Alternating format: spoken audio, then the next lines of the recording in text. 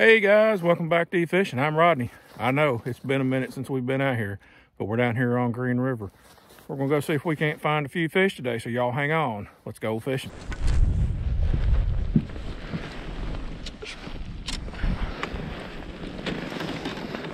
There's spinner bud.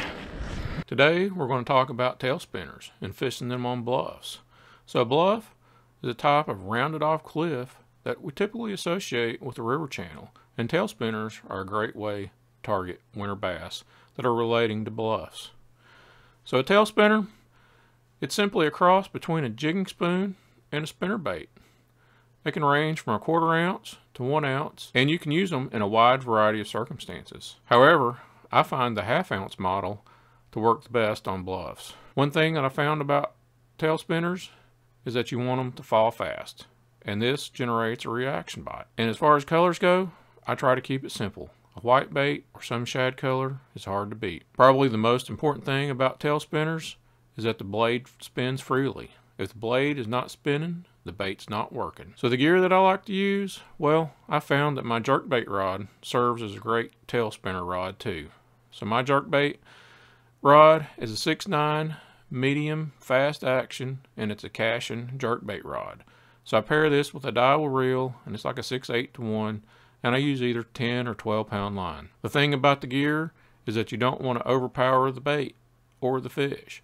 The hooks on the tail spinner are typically small and you can't horse a fish in with them. And if you do horse a fish in, well, you're going to risk pulling the hook out of the fish. So once you're at your bluff, and you toss your bait up there, the first thing you want to do is let that bait hit the bottom. And then you want to start slowly reeling it back in. And sometimes you're not going to reel at all and you're just going to let that bait fall. You want to keep the bait on the bottom or close to the bottom and you want to keep that blade turning. The key is to keep the bait as close to the bluff wall as possible. And if the bait hits the bottom, just pick the rod up a couple inches and let the bait fall again. And try not to pull the bait too far off the wall. There's a fish. Yeah. Good? Pretty good. Yep.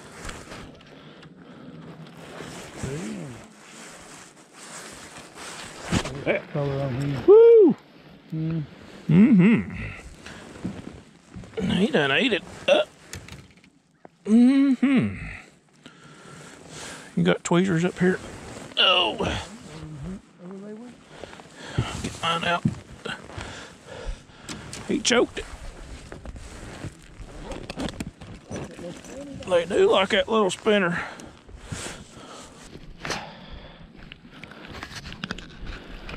There we go. Oh, that's a nice little spot. At him. Huh.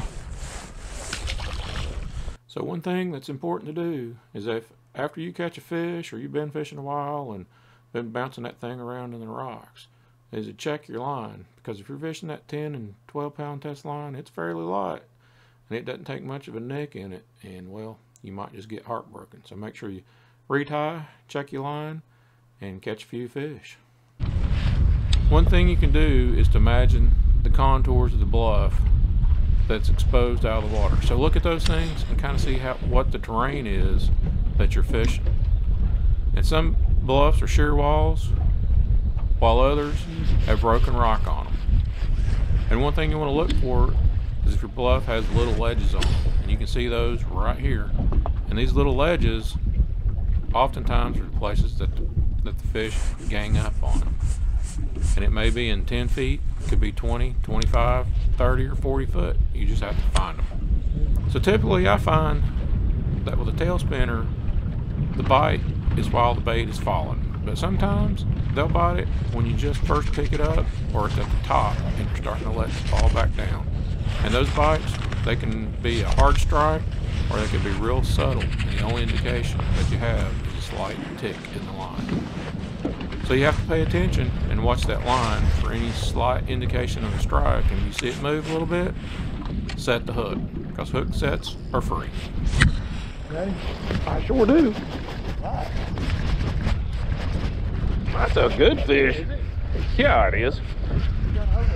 Oh, Oh, that's a big one. Yeah, boy. Might be. That or it's a big smallie. Something good anyway. I just saw him come up and boil.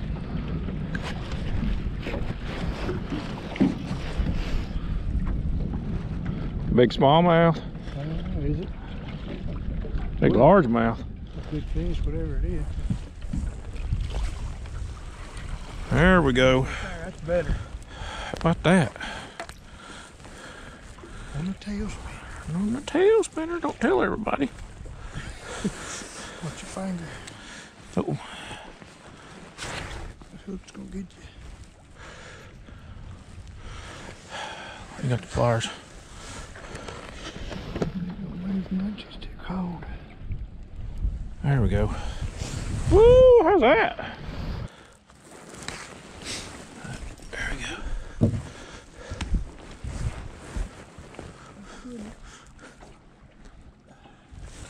All right, guys.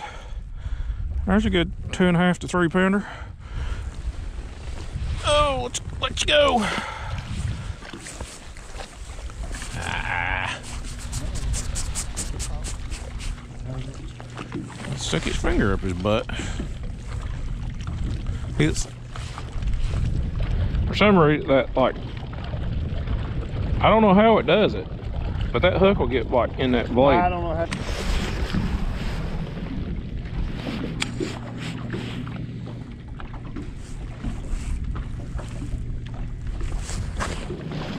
There we go.